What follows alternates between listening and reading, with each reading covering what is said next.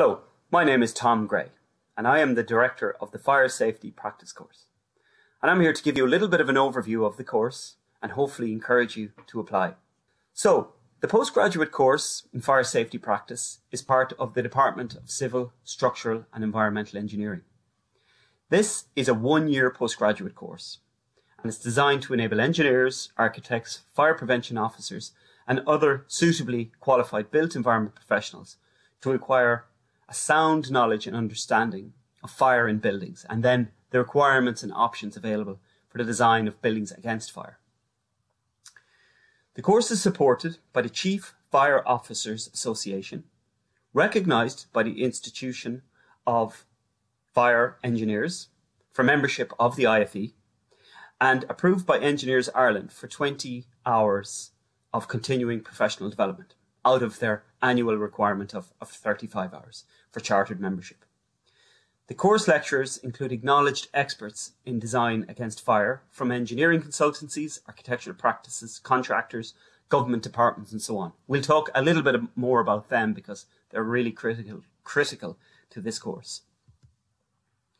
Let's just think about fire safety practice and the design of, of, of buildings and, and the fire protection of buildings in, in our current context or in our current world. Fire safety practice has impacts across all aspects of the built environment. And over the last couple of years, a number of trends or things have really come to the fore.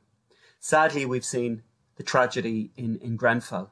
And this has really demonstrated the need to carefully consider building materials and egress in, in all building types, but probably you're really critical in, in, in higher, your higher or taller residential buildings.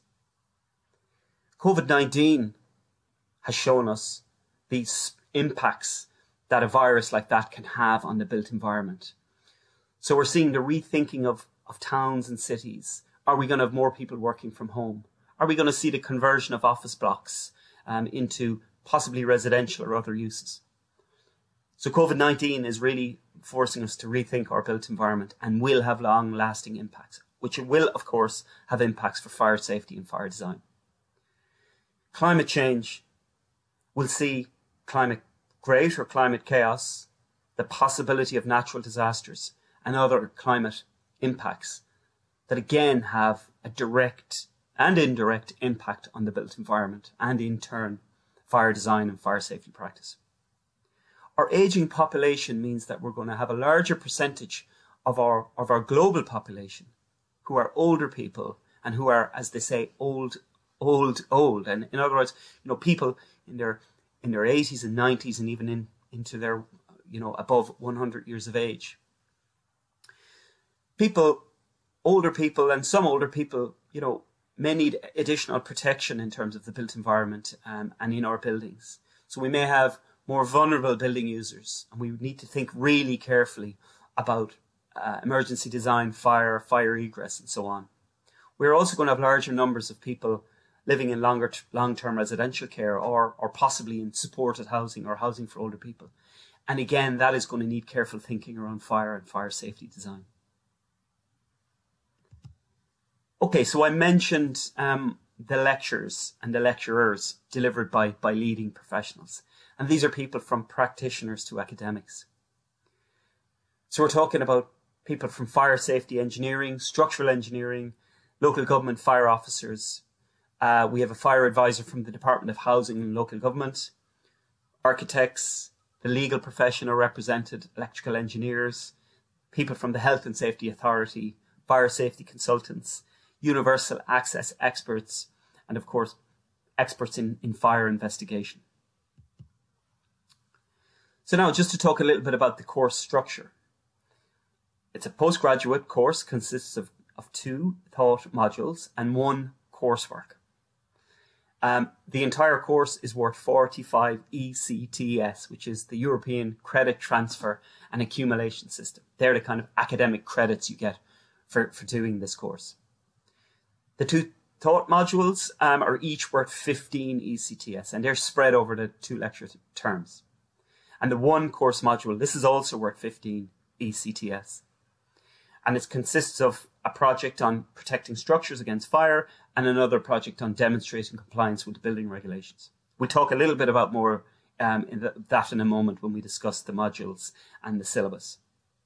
Lectures are held on Friday evenings and Saturday mornings, typically from October to April, with examinations in May. Students should note that the Trinity academic year is made up of two 12 week semesters, in the first being the Michaelmas uh, term and the second term being Hilary. So, to talk a little bit about the, the course modules and the syllabus. So, Module 1, that's made of fire safety engineering, and that has a number of components. A looks at the fundamentals of fire science and fire, fire engineering. So, obviously, we have we're covering fire science, but also structural fire engineering and so on. B is looking at fire safety um, engineering in terms of fire spread between buildings, uh, fire resistance of structural elements, and fire and evacuation modelling.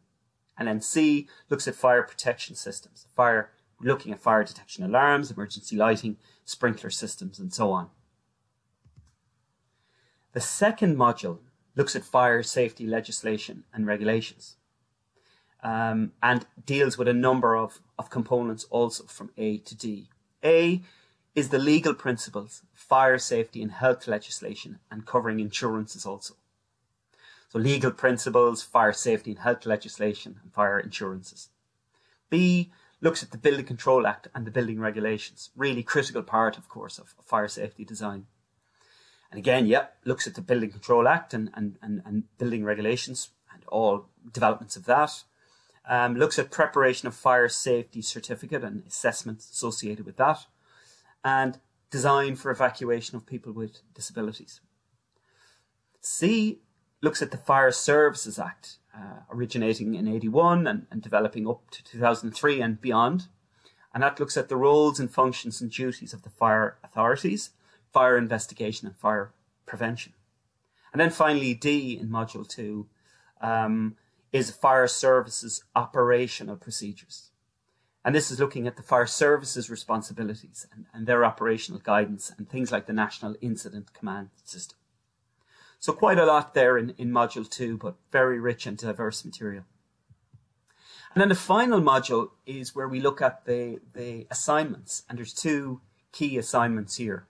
There's a substantial project on methods of protecting structures against fire. And the second one is another substantial project looking at demonstrating compli uh, compliance with the requirements of the building regulations. So there are two very kind of hands-on projects where you, you get to demonstrate the knowledge you have gained throughout um, the former modules. In terms of teaching methods, the course is delivered via um, formal lectures, small group discussions, and coursework assignments.